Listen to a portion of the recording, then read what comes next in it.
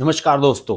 पिछले कुछ समय से देश में राजनीतिक गतिविधियाँ इतनी ज़बरदस्त चल रही थी, पार्लियामेंट चल रही थी, कि कुछ संडे स्पेशल में कोई संडे स्पेशल करने का सही मायने में मौका नहीं मिला। लेकिन इस सप्ताह बात करेंगे गांधी नेहरू परिवार के बारे में। प्रधानमंत्री नरेंद्र मोदी ने अविश्वास प्रस्ताव पर जो अपनी स्पीच दी, उसमें गांधी नेहरू परिवार पर बड़ा ज़बरदस्त हमला बोला गया। साथ ही साथ इस सप्ताह एक बड़ी खबर ये हुई कि राहुल गांधी की लोकसभा की सदस्यता बहाल हो गई। अब सुनने में आ रहा है कि उनका जो बारह तुगलक लेन रोड वाला घर था, जो उन्होंने खाली कर दिया था, वो उन्हें फिर से मिलने जा रहा है। बात करेंगे गांधी परिवार के घर के बारे में। राहुल गांधी ने 2009 में अमेठी से जब चुनाव लड़ा था, लोकसभा का पहली बार तो उस समय उन्होंने अपना जो एफिडेविट वहाँ दिया था उसमें उन्होंने साफ़ तौर पर यह कहा था कि उनके पास कोई प्राइवेट प्रॉपर्टी नहीं है और दिल्ली में अपना कोई घर भी नहीं है। जरा गौर से सुनिएगा, घर की ही बात होने जा रही है आज। और वास्तव में अगर इस समय चीज़ें देखी जाएँ क्योंकि प्रियंका गांधी की जब आपको पता ही है कि मोदी सरकार ने जो एनएसजी कमांडोज की सुरक्षा पूर्व प्रधानमंत्री या पूर्व प्रधानमंत्री के परिवारों को दी जाती है, उसका रिव्यू कुछ साल पहले किया था दो तीन साल पहले शायद 2018-19 की बात है ये, तब हुआ था ये। तो उस समय गांधी परिवार के बारे में ये माना गया था कि सब अब इनको उतनी बड़ी सिक्योरिटी की ज़रूरत नहीं है, जितनी इन्हें मिली थी। चूँकि राजीव गांधी की हत्या हुई थी तो वो परिवार को थ्रेट मानी जाती थी। फिर उसके बाद कांग्रेस की सरकारों ने भी इसे नहीं छेड़ा, अटल जी की सरकार ने भी इसको नहीं छेड़ा, वो सुरक्षा इनकी चली आ रही थी। लेकिन मोदी सरकार ने इसको रिव्यू किया। मनमोहन सिंह जी जब प्राइम मिनिस्टर नहीं रहे, उनसे भी पूछा गया कि क्या आपको कोई सुरक्षा का कोई अपना खतरा लगता है? उन्होंने कहा कि साहब, मुझे ज़्यादा सुरक्षा की ज़रूरत है नहीं। तो उनकी सुरक्षा जो थी, वो भी जेड प्लस कैटेगरी की कर दी गई और उसके बाद गांधी परिवार की भी जेड प्लस कैटेगरी की कर दी गई। अब राहुल गांधी और सोनिया गांधी तो सांसद थे, इनके अपने अपने घर थे। सोनिया गांधी दस जनपद में रहती हैं और ये बारह तुगलक लेन लेन रोड में रह रहे थे। तो प्रियंका गांधी को जो उनका घर घर मिला हुआ था, थर्टी फोर लोधी स्टेट वाला वो खाली करना पड़ा। और चूँकि वो बेटी थी राजीव गांधी की, इसलिए उन्हें घर मिला हुआ था। और उस तरह की सिक्योरिटी के लिए उसी तरह का घर आवश्यक होता है, ये एक नॉर्म्स के हिसाब से मिला था। तो वो अपने परिवार के साथ, पति और बच्चों के साथ वहीं रहा करती थी। खैर, फिर बाद में वो प्राइवेट प्रॉपर्टी में शिफ्ट हो गई। अब वो सुजान सिंह पार्क में रहती हैं, टू बी के फ्लैट उन्होंने वहाँ लिया हुआ है। वहाँ रहती हैं, पता नहीं रहती हैं वहाँ या नहीं। वैसे तो उनके पति रॉबर्ट वाड्रा का गुड़गांव में एक बड़े पौश इलाके में शानदार घर है, वहाँ भी वो रहती ही होंगी। और उनका जो दफ्तर है, वो जो सोनिया गांधी का घर है, दस जनपद, उसी में ही एक केबिन से, एक कमरे से उनका प्रियंका गांधी का दफ्तर चलता है, क्योंकि वो एक अच्छे खासे पद पर भी हैं, कांग्रेस पार्टी के अंदर। और सोनिया गांधी की बेटी हैं, राहुल गांधी की बहन है, ये सब बात तो है ही।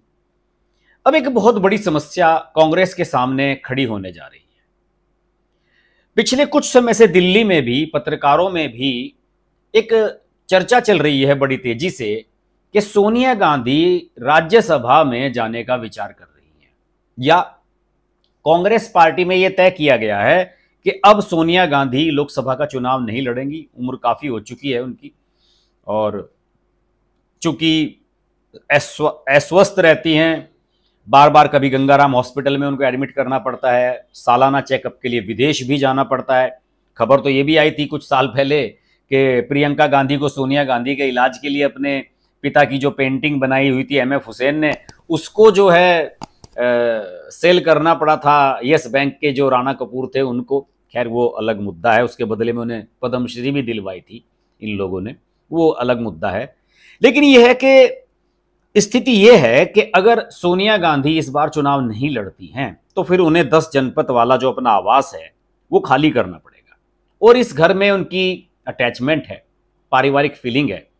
क्योंकि राहुल, राजीव गांधी, स्वर्गीय राजीव गांधी की जब प्रधानमंत्री पद से वो हटे थे 1989 में वीपी सिंह की सरकार बनी और वो नेता प्रतिपक्ष बन गए राजीव गांधी, तब वो 1989 में इस दस जनपद वाले आवास में शिफ्ट हुए थे। और तब से सोनिया गांधी यहीं पर रह रही हैं, राहुल और प्रियंका यहीं पर बड़े हुए हैं। तो यहाँ से उनका अटैचमेंट है। अब कुछ सवाल हैं इसमें, कुछ चर्चाएँ हैं। पाँच बार की लोकसभा की सांसद हैं, एक बार अमेठी से रही हैं, चार बार रायबरेली से, कभी चुनाव कोई हारी नहीं है, रिकॉर्ड है उनके नाम। लेकिन अब चूँकि हेल्थ उनकी कमज़ोर रहती है, अपने लोकसभा क्षेत्र में, रायबरेली में जा भी नहीं पाती हैं, ये भी एक समस्या लगातार बनी रहती है। कई बार उनकी बेटी चली जाती है वहाँ पर। लेकिन इस बार तो लोग ये भी कह रहे हैं कि अगर सोनिया गांधी रायबरेली से चुनाव लड़ी भी तो उनको बीजेपी के किसी कैंडिडेट से हारना पड़ेगा। क्योंकि वहाँ पर पिछले चार, पाँच, छह साल में योगी आदित्यनाथ ने और इन सब यूपी के जो नेता हैं और बीजेपी का जो थिंक टैंक है, उसने कुछ इस तरह की रणनीति तैयार की है कि यहाँ से प्रियंका गांधी सॉरी सोनिया गांधी को यहाँ से हराया जाए। जैसे कि राहुल गांधी पिछली बार अमेठी से हार गए थे। इस तरह की योजना इनके बीच में बन रही है। अदिति सिंह है, वहाँ की रायबरेली की विधायक हुआ करती थी कांग्रेस की। अब बीजेपी में आ गई हैं, बीजेपी की विधायक बन गई हैं।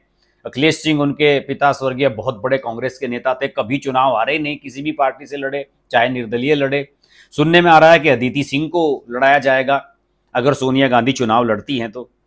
दूसरी ओर, एक थिंक टैंक ये भी आया कि अगर देखिए इन्होंने चुनाव नहीं लड़ा तो फिर इनको घर खाली करना पड़ेगा। कुछ लोगों ने कहा कि अगर ये राज्यसभा की सांसद बन जाएँ तो शायद इन्हें घर ना खाली करना पड़े।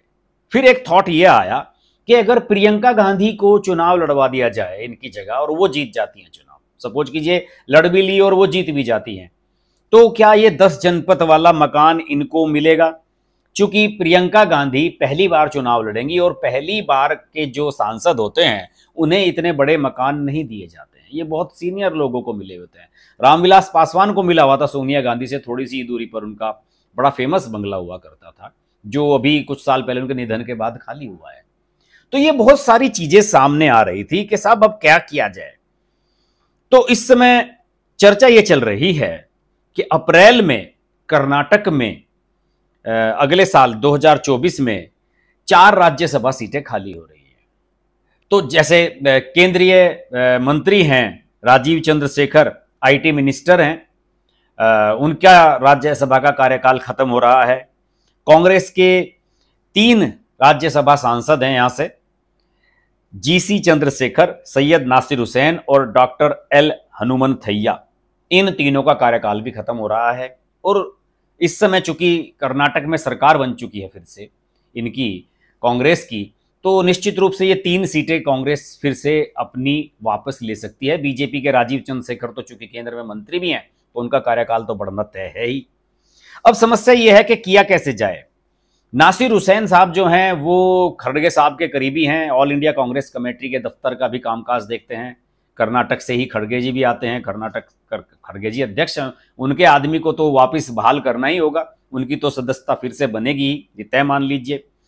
इसके अलावा, अब ये विचार चल रहा है कि जो दो बाकी सीटें होंगी, उस पर सोनिया गांधी और कांग्रेस की जो बहुत ज़्यादा बड़बोली टाइप की प्रवक्ता है, सुप्रिया श्रीनेत उनको शायद वहाँ से चुनवाया जाए, क्योंकि वो राहुल गांधी की बड़ी फेवरेट है। राहुल गांधी को वो लोग खासतौर से पसंद आते हैं जो नरेंद्र मोदी को खुलकर गालियाँ दे सके।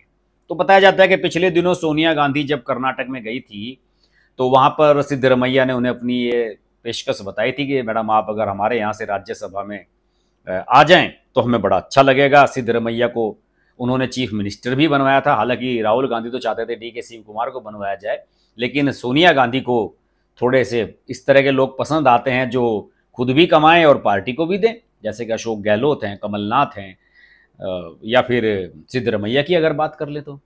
तो सिद्धरमैया चाहते हैं कि मैं इस परोपकार का बदला कुछ चुका दूँ। और मैडम अगर कर्नाटक से चली जाती हैं राज्यसभा में तो मैं बड़ा ऑनर्ड फील करूँगा।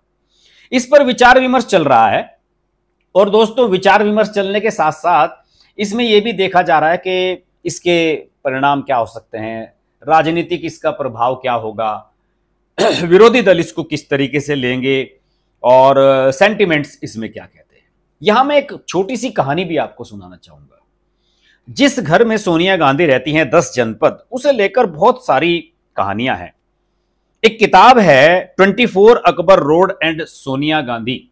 एक बायोग्राफी है। पत्रकार हैं राशिद किदवई। उन्होंने किताब लिखी है सोनिया गांधी के बारे में। चौबीस अकबर रोड आप जानते हैं, कांग्रेस का जो हेडक्वार्टर है, उसके बारे में। उन्होंने दस जनपद को लेकर उसमें काफ़ी चीज़ें लिखी हैं।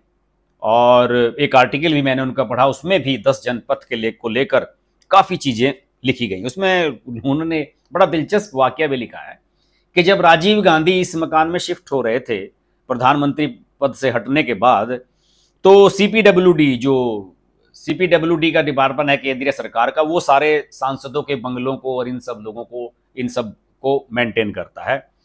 तो राजीव गांधी को ये बंगला दस जनपथ अलॉट हुआ, बड़ा बंगला था। गांधी परिवार से ये पहले भी जुड़ा रहा है। तो जब बताया जाता है कि किसी अधिकारी ने राजीव गांधी से ये कहा कि साहब, इसमें भूत प्रेत आत्माओं का असर है और ये अनलकी माना जाता है घर। तो राजीव गांधी मस्त आदमी थे और पढ़े लिखे इंसान थे हाई फाई थे, विदेशों में रहते थे ज़्यादातर समय।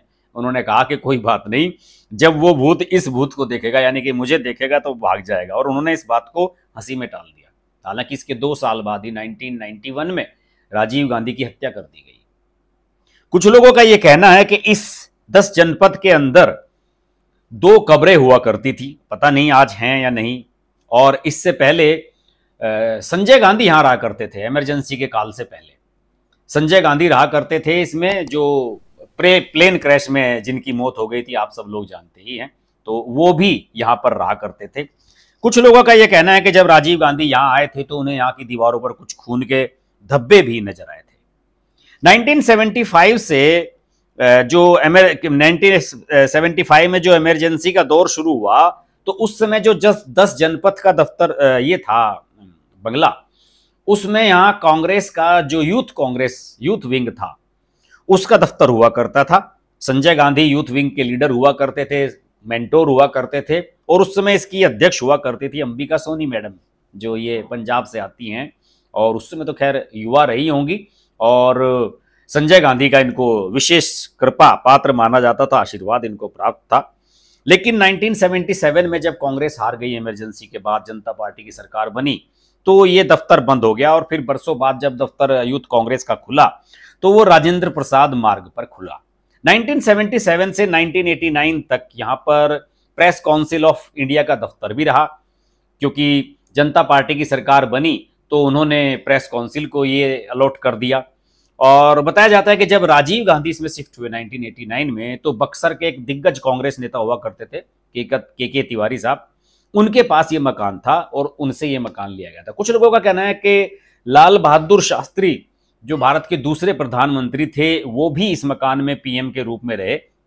और जिस हिस्से में वो रहते थे, वो हिस्सा अभी भी दस जनपद का ही हिस्सा है, लेकिन सब लोग जानते हैं कि वो कितने कम समय के लिए शायद मेरे ख्याल में 18-19 महीने के लिए शायद वो रहे थे।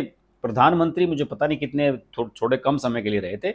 और इस आवास में आने के बाद 18-19 महीने के बाद उनका रूस में रहस्यमय तरीके से निधन हो गया था। सब लोग जानते हैं, एक मिस्ट्री है जो उनकी मौत हुई थी। और गांधी परिवार, नेहरू परिवार लगभग पिछले सौ साल से, आज़ादी के पहले से ही चूँकि मोतीलाल नेहरू, जवाहरलाल नेहरू, इंदिरा गांधी, इन सब की राजनीति दिल्ली में इनका केंद्र रहा तो इनके पास कोई कभी निजी घर में ये कभी नहीं रहे। और बताया जाता है कि अब देखिए, अभी राहुल गांधी जाने वाले थे प्राइवेट घर में, लेकिन अब उन्हें फिर से घर मिल गया है तो शायद वो भी नहीं जाएँगे। उनके तो मकान संदीप दीक्षित ने ऑफ़र कर दिया था, शीला दीक्षित के बेटे ने। आनंद भवन जो इनकी प्रॉपर्टी थी नेहरू जी की, दिल्ली में, उसको 1970 में इंदिरा गांधी ने राष्ट्र को समर्पित कर दिया गया था। और आप सब लोग जानते हैं कि वहाँ पर प्रधानमंत्री संग्रहालय बना हुआ है। और जवाहरलाल नेहरू ने सेवन यॉर्क रोड पर अपने आप को शिफ्ट कर लिया था। अब उसे मोतीलाल नेहरू मार्ग कहते हैं। नेहरू पीएम बनने के बाद 1947 में त्री, तीन मूर्ति भवन में शिफ्ट हो गए थे जिसमें प्रधानमंत्री संग्रहालय सॉरी इस समय बना हुआ है। इंदिरा गांधी के बाद 1977 में हार जाने के बाद दिल्ली में कोई घर नहीं। फिरोज गांधी, उनके पति, उन्होंने 1959 में मेहरोली में एक ज़मीन खरीदी थी। आज तो मेहरोली बहुत बहुत बहुत महँगा इलाका है दिल्ली का। किसी की औकात नहीं है आज वहाँ खरीद ले। उस समय जंगल हुआ करता था। फिरोज गांधी ने ज़मीन खरीद ली। लेकिन फिरोज गांधी का निधन हो गया था एक साल के बाद ही, उस घटना के बाद। बाद में बताया जाता है कि राजीव गांधी ने वहाँ इंदिरा फार्म हाउस बनवाया था। और 2018 में इंदिरा फार्म हाउस सुर्खियों में आया था जब यह खबर आई थी कि राहुल और प्रियंका ने इंदिरा गांधी फार्म हाउस को किराए पर दे दिया है। नेशनल स्पॉट एक्सचेंज लिमिटेड नाम की एक इंडियन इंडियन सरकारी कंपनी की सब्सिडरी है, उसको ये दफ्तर दिया, वहाँ पर दफ्तर बनाने के लिए या काम करने के लिए ये दिया जा रहा था फार्म हाउस। हालाँकि बताया जाता है बाद में शायद ये डील फाइनल नहीं हो पाई थी। लेकिन ये लोग मानते हैं कि 1977 के बाद जब इमरजेंसी का दौर खत्म हुआ और जनता पार्टी की सरकार बनी उसके बाद से गांधी और नेहरू परिवार के लिए कायदे से बड़े संघर्ष का दौर यहाँ पर शुरू हुआ। महरौली का फार्म हाउस रहने के लायक नहीं था सरकारी घर नहीं ले सकते थे इंदिरा गांधी चुनाव हार गई थी। तो ऐसे में जब इंदिरा गांधी क्या करती तो इंदिरा गांधी के एक परिवार के मित्र हैं पुराने मोहम्मद यूनुस मैं नहीं जानता उनके बारे में किताब में ऐसा लिखा हुआ है। उनका अपना घर हुआ था, हुआ करता था ट्वेल्व विलिंगडन क्रिसेंट रोड पर। और ये उन्हें दे दिया था उन्होंने कि भाई, गांधी परिवार है, कहाँ जाएँगी बच्चों के साथ? उसमें इंदिरा गांधी, संजय गांधी, राजीव, सोनिया मेनका राहुल प्रियंका भी तब पैदा हो चुके थे। शायद वरुण पैदा नहीं हुए थे और इनके साथ इनके पाँच कुत्ते। ये सब लोग उस घर में रहते थे। तो ये कहानी है गांधी नेहरू परिवार की, दिल्ली में रहने की, ना रहने की। मैंने जैसे शुरू में बताया कि राहुल गांधी ने अपने एफिडेविट में ये दिया है कि साहब मेरे पास कोई घर नहीं है कोई निजी प्रॉपर्टी नहीं है बिल्कुल सही है। निजी प्रॉपर्टी की इनको आवश्यकता ही कहाँ है? सरकारी प्रॉपर्टी भी निजी प्रॉपर्टी है। पता नहीं कितनी प्रॉपर्टी गांधी नेहरू परिवार के हाथों से निकली है इस दिल्ली में। और उसके बाद इन्हें ज़रूरत कभी महसूस ही नहीं हुई क्योंकि इस देश के ए, क्या कहना चाहिए कि शाही परिवार से आते हैं और राहुल गांधी तो प्रिंस हैं यहाँ के तो पार्लियामेंट को भी अपनी ही समझते हैं वहाँ कुछ भी कहकर चले आते हैं। तो स्थिति यह है कि सोनिया गांधी को अब अपना मकान दस जनपथ अगर बनाए रखना है, अगर वो उसी में रहना चाहती हैं अभी, जब तक भी हैं इस दुनिया में तो उन्हें या तो रायबरेली से चुनाव लड़ना हो, जीतना होगा। और अगर नहीं करती हैं तो फिर राज्यसभा में जाने का विकल्प उनके लिए बेस्ट है। राज्यसभा की सांसद होंगी, जब पाँच बाल की पहले सांसद हैं, उनसे कोई मकान खाली करने के लिए कहेगा नहीं, क्योंकि आप सब जानते ही हैं कि जो सरनेम है गांधी। उसका अभी भी रौब दौब इस दुनिया में, इस देश में बचा हुआ है। तो फ़िलहाल खबरें यही है। मुझे लगा कि संडे स्पेशल में आज आपसे चर्चा इसी बारे में की जाए कि सोनिया गांधी कर्नाटक से अगले साल अप्रैल में राज्यसभा में जा सकती हैं और उस समय देश में लोकसभा चुनाव का बिगुल बच चुका होगा और शायद एक आध, दो चार राउंड का चुनाव हो भी चुका हो। तो उस समय पहले ही, उससे पहले ही मुझे लगता है फरवरी, मार्च तक ही ये स्पष्ट हो जाएगा कि सोनिया गांधी चुनाव लड़ेंगी या नहीं? अभी तो कांग्रेस वाले ये भी नहीं जानते कि राहुल गांधी इस बार अमेठी से चुनाव लड़ेंगे या नहीं। उन्होंने कुछ सर्वे तो चलवा दिए। रजत शर्मा का जो इंडिया टीवी है, उसने तो दिखा दिया कि अगर अमेठी से इस बार लड़ते हैं, राहुल गांधी तो स्मृति ईरानी को हरा देंगे। तो खबरें तो काफ़ी हैं और इस पर अब हम लोगों की लगातार नज़र बनी रहेगी कि सोनिया गांधी की एक्टिविटीज़ क्या रहती हैं। अभी पार्लियामेंट में तो उतना बोलती नहीं है, उतना एक्टिव नहीं रहती हैं, जनसभाओं में भी जाना बंद कर दिया है। यदा कदा जैसे कि अभी विपक्ष की बैठक हुई थी, अभी फिर तीसरी बैठक होने जा रही है, शायद उसमें भी नज़र आए। तो बहुत लिमिटेड कार्यक्रमों में जाती हैं और आपको याद होगा कि जब बेंगलुरु में विपक्ष की दूसरी बैठक हुई थी और प्राइवेट प्लेन से राहुल गांधी के साथ ये दिल्ली लौट रही थी वहाँ से तो रस्ते में उसमें कुछ खराबी आ गई थी, फिर भोपाल उतरना पड़ा था। उसमें ऑक्सीजन मास्क लगाए हुए सोनिया गांधी की तस्वीर इंस्टाग्राम पर डाली थी, राहुल गांधी ने। और स्वास्थ्य की तो स्थिति आप सब लोग जानते ही हैं कि सोनिया गांधी की ठीक नहीं रहती है। मुझे तो संभावनाएँ पूरी पूरी लग रही हैं कि वो इस बार लोकसभा का चुनाव नहीं लड़ेंगी। लेकिन गांधी परिवार है, कुछ भी संभव है, कुछ भी कर सकते हैं। इस पर हमारी नज़र बनी रहेगी। संडे स्पेशल का ये एपिसोड आपको कैसा लगा, ज़रूर बताइए। और अगर मेरे चैनल को अभी तक आपने सब्सक्राइब नहीं किया तो सब्सक्राइब ज़रूर कर लें, नोटिफिकेशन का बेल आइकन ज़रूर प्रेस कर लें, वरना लाइव नहीं जुड़ पाएँगे मुझसे। और लोकसभा चुनाव के वीडियोस बनाने का सिलसिला मेरा शुरू हो चुका है तो इस चैनल को बिल्कुल भी मिस नहीं कीजिए। इसके अलावा मेरा दूसरा चैनल है, हर्ष कुमार। उसको भी ज़रूर सब्सक्राइब कर लें। और एक बार फिर आप सबका धन्यवाद। हमारे जो चार लाख सब्सक्राइबर अभी हाल ही में इस सप्ताह हमने पार किए हैं, आप सबके सहयोग से ही ये संभव हो सका है। आपसे मुलाकात होती रहेगी, चर्चा होती रहेगी। जुड़े रहिए मेरे साथ। नमस्कार। अगर आपको हमारी वीडियो पसंद आई तो वीडियो को लाइक करें, चैनल को सब्सक्राइब करें और नोटिफिकेशन के लिए बेल आइकन को प्रेस करें।